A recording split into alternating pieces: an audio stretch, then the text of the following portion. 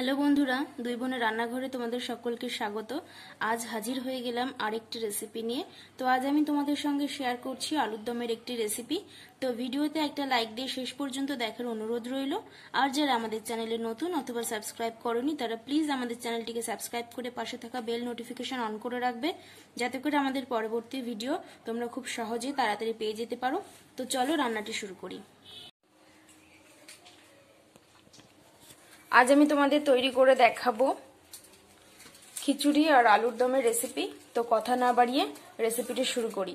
তো আলুর দমের জন্য আমি এখানে দিয়ে দিলাম কড়াইতে গরম তেলের মধ্যে দুটো শুকনো লঙ্কা আর তেজপাতা ফোড়ন। আর দিয়ে দিলাম এক চামচ জিরে, দু চামচ জিরে। এবার এটা একটুখানি কড়াইতে নেড়ে নেব খুন্তি দিয়ে।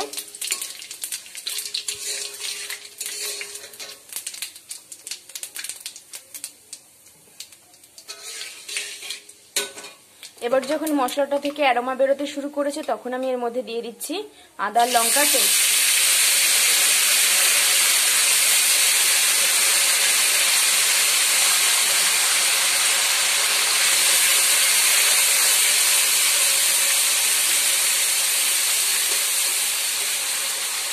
আদা, লঙ্কার পেস্টটা আমি তিন চামচ দিয়েছি।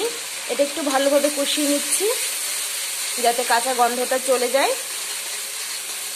ঝালটা তোমরা তোমাদের স্বাদ অনুযায়ী দেবে। আমি যেহেতু তিন চামচ দিয়েছি, আমার স্বাদ অনুযায়ী তোমরা ঝালটা তোমাদের পরিমাণ অনুযায়ী দিয়ে দেবে।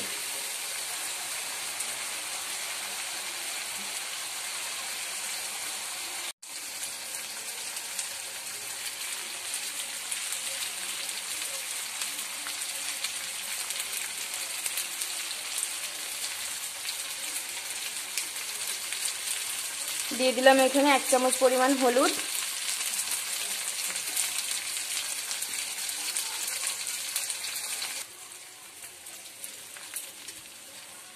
দিয়ে দিলাম এক চামচ নুন।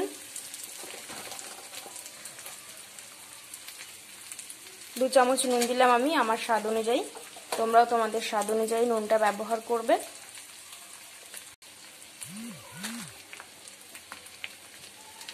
দিয়ে দিলাম এক চামচ টমেটো সস। তোমরা টমেটো সসটা না চাইলে তোমরা স্কিপ করতে পারো। তোমরা তার বদলে টমেটো পেস্ট বা টমেটো পিউরি দিতে পারো।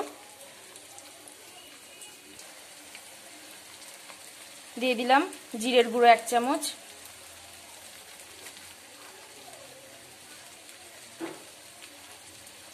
দু চামচ। আমি দু চামচ জিরের গুঁড়ো ব্যবহার করলাম এখানে।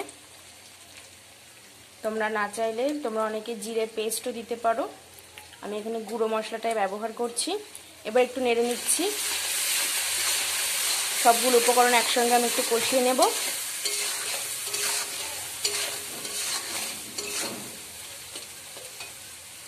এবার এর মধ্যে আমি দিয়ে দিচ্ছি সেদ্ধ করা আলু আর ছোলাগুলো।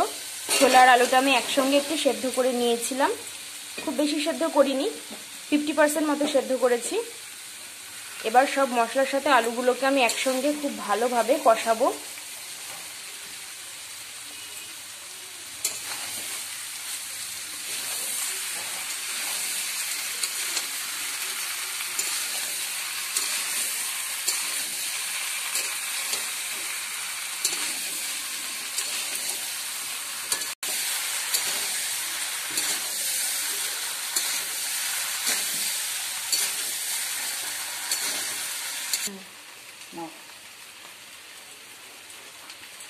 এবার আমি এর মধ্যে দিয়ে দিচ্ছি বড় চামচের এক চামচ আলুর দমের মশলা।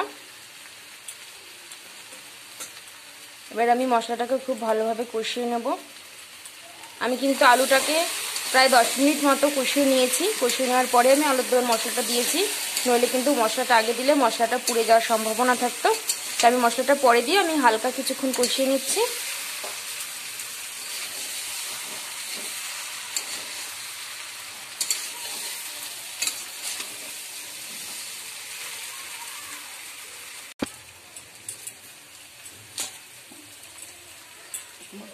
এবার আমি এর মধ্যে দিয়ে দিচ্ছি জল। জলটা তোমরা যেরকম গ্রেভি রাখবে, সে অনুযায়ী জলটা তোমরা দেবে। আমি যেরকম গ্রেভি রাখছি সেই অনুযায়ী আমি জলটা দিচ্ছি। আমি একটু মাখামাখাই করব, তাই জলটা এরকম অল্পই দিয়েছি। যেহেতু আলুগুলো আগে সেদ্ধ করা ফিফটি তাই জলটা কমই হয়ে যাবে। বেশিক্ষণ ফোটাতে হবে না।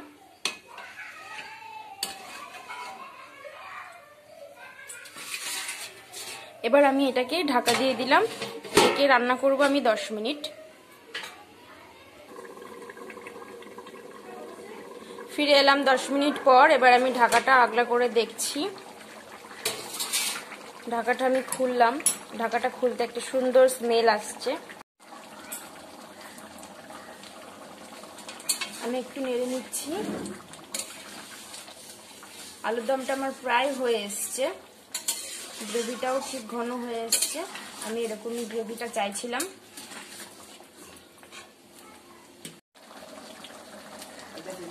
এবার এর মধ্যে দিয়ে দিলাম আমি এক চামচ পরিমাণ চিনি।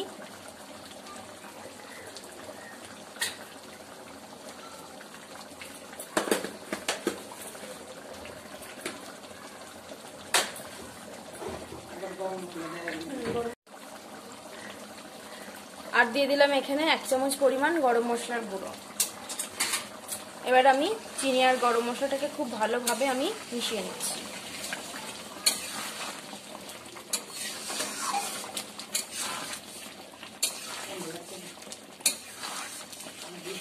তৈরি হয়ে গেছে আমাদের আলুর দম। এবার আমি এটা গরম গরম সার্ভ করব। আলুর দমের এই রেসিপিটি কিন্তু রুটি, পরোটা বা কচুরি সব কিছুর সঙ্গেই খেতে খুবই ভালো লাগে। এই রেসিপিটি তোমাদের খুব ঘরোয়া উপায়ে দেখানোর চেষ্টা করেছি। তোমরা এইভাবে স্টেপ বাই স্টেপ ফলো করে বাড়িতে ট্রাই করো। আশা করছি নিশ্চয়ই তোমাদের খুব ভালো লাগবে। আর রেসিপিটি ভালো লাগলে বন্ধুদের সঙ্গে অবশ্যই শেয়ার করবে এবং তোমাদের মূল্যবান মতামত আমাদের কমেন্ট সেকশনে অবশ্যই জানাবে। আজকের মতো এই পর্যন্তই বিদায় নিচ্ছি। দেখা হবে পরের ভিডিওতে। ততক্ষণ পর্যন্ত তোমরা সবাই ভালো থাকো, সুস্থ থাকো এবং আমাদের সঙ্গে থেকে ভিডিওটি দেখার জন্য সবাইকে অসংখ্য ধন্যবাদ।